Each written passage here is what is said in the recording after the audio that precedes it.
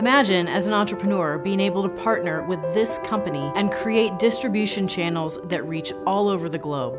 Imagine the business attached to this. I believe this is the greatest recruiting story of all time. Why?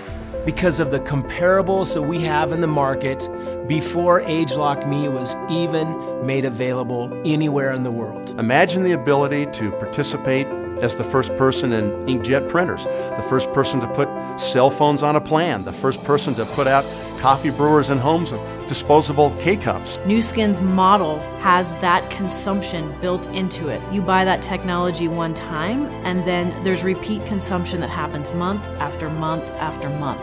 You look at the printer business. The printer is useless without ink.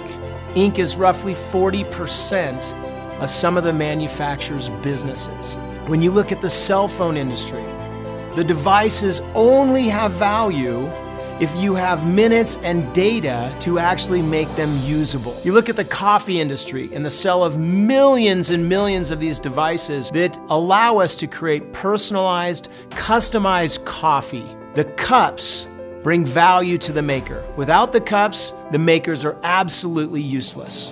Customer satisfaction and long term loyalty is the outcome when you can deliver results that are sustainable over time. By positioning in the business of ageLOC Me, it proves to be an absolute game changer. Imagine that you had the exclusive right to distribute a technology like this, the first time ever to take over that one room in the house that no one's ever monetized on a monthly basis yet. And that's the bathroom, and it's going to happen right now.